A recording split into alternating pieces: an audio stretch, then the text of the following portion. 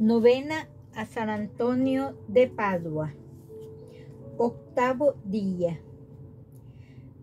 Concédenos crecer en el conocimiento de tu misterio y vivir según el Evangelio. En el nombre del Padre, del Hijo y del Espíritu Santo. Amén.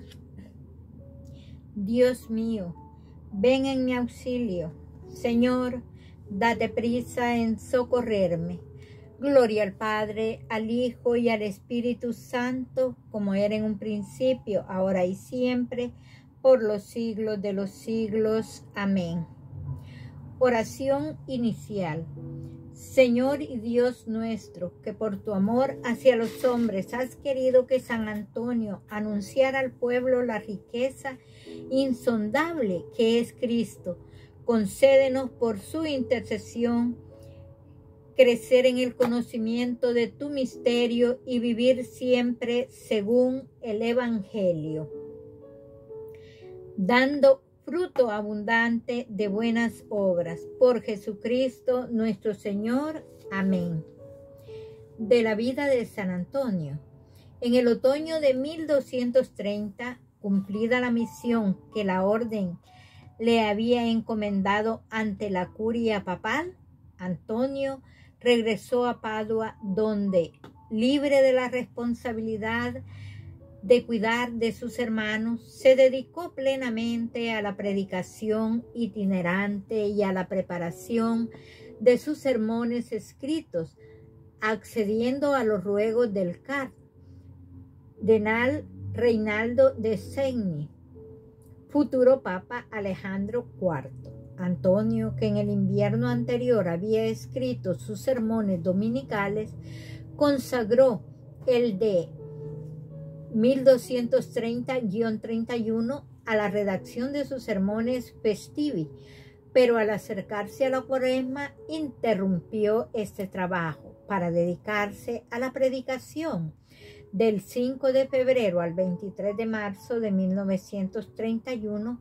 predicó la cuaresma en Padua, con un largo sermón diario, con catequesis y horas de oír confesiones. Tan admirable misión cuaresmal agotó la fuerza del santo y minó su salud, pero produjo muy abundantes frutos evangélicos el 17 de marzo de 1931, lunes santo, Antonio se presentó al podesta de Padua y a su consejo para pedirles que se atenuaran las penas de los estatutos comunales para los pobres endeudados que no podían pagar y lo consiguió.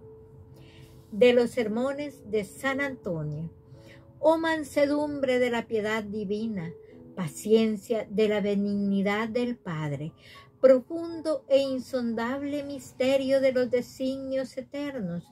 Veías, Padre, que a tu unigénito igual a ti le ataban a la columna como a un bandido y le azotaban como a un homicida. ¿Cómo te pudiste contener? Te damos gracias, Padre Santo, por habernos liberado de las cadenas del pecado y de los azotes del diablo, por medio de las cadenas y azotes de tu querido Hijo. Pero, desgraciadamente, Poncio Pilato azota de nuevo a Jesucristo. Aún más, fue manchado con salivazos de los judíos, dice San Mateo. Entonces se pusieron a escupirle en la cara y a bofetearle y otros a golpearle. Oh Padre, la cabeza de tu Hijo Jesús, que hace temblar a los ángeles, es golpeada con una caña. Su rostro, que los ángeles desean contemplar, es manchando con salivazos, abofeteado, su barba es arrancada, le dan puñetazos, lo arrastran por los cabellos, y tú, oh clementísimo, callas, disimulas y prefieres que uno, tu único, sea de tal modo escupido y abofeteado antes que toda la nación perezca. Honor y gloria a ti, porque con las escupiduras los puñetazos y las bofetadas que recibió tu Hijo Jesús, nos preparaste una triaca para expulsar el veneno de nuestra alma. Te pedimos, Señor Jesús, que tú, el buen pastor, nos guardes a nosotros, tus ovejas, nos defiendas del mercenario y del lobo y nos corones en tu reino con la corona de la vida eterna. Ayúdanos tú, que eres bendito, glorioso y laudable por los siglos de los siglos, que diga toda ovejita, toda alma fiel. Amén. Aleluya. Antífona. Oh doctor admirable, luz de la iglesia santa, bienaventurado Antonio, fiel cumplidor de la ley ruega por nosotros al Hijo de Dios. De los milagros de San Antonio. En la ciudad de Comaquio vivía un hombre llamado Domingo, que cierto día salió de su casa para un menester y se llevó en su compañía a un hijo pequeño, que iba caminando tras él. Cuando se habían alejado algún tanto de su casa, volvió a la vista atrás y no vio aparecer a nadie. Sobrecogido, se puso a dar vueltas, buscándolo por los alrededores con ojos asombrados, hasta que finalmente encontró al pequeño ahogado en una poza. Sacó el desdichado padre al muchachuelo, lo llevó a casa y se lo entregó exánime a la madre. Pero ésta, haciendo al punto un voto, lo recibió vivo por los méritos del muy bienaventurado Antonio. Plegaria. Recuerda, Señor, que tu misericordia y tu ternura son eternas. Con la confianza que nos das el sabernos hijos tuyos e invocando la intercesión de tu siervo San Antonio, al que atiendes con largueza, te presentamos nuestras peticiones.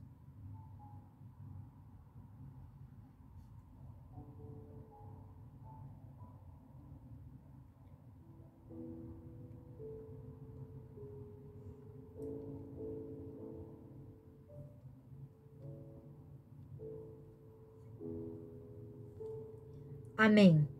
Oración final. Dios Todopoderoso y Eterno, tú que has dado a tu pueblo en la persona de San Antonio de Padua un predicador insigne y un intercesor poderoso, concédenos seguir fielmente los principios de la vida cristiana para que merezcamos tenerte como protector en todas las adversidades por Jesucristo nuestro Señor. Amén.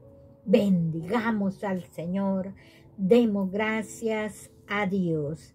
En el nombre del Padre, del Hijo y del Espíritu Santo. Amén.